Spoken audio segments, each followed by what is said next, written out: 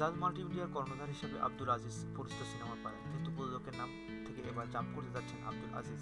এবার সিনেমায় নামছেন হিরো হয়ে। মঙ্গলবার রাতে ফেসবুক লাইভে তিনি একথা নিজেই জানান।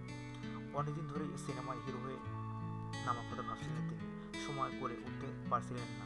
এবার সময় হলো এমনটাই জানালেন তিনি। সিনেমার নাম আধার থেকে আধারে।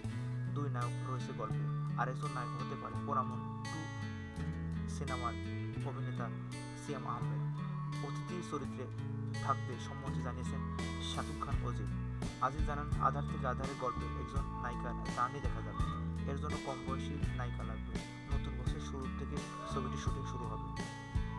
একজন প্রশ্ন করেন সিনেমাটিতে মাই থাকছেন কিনা? আজিজ জানালেন, এ বিষয়ে এখনও চূড়ান্ত হয়নি।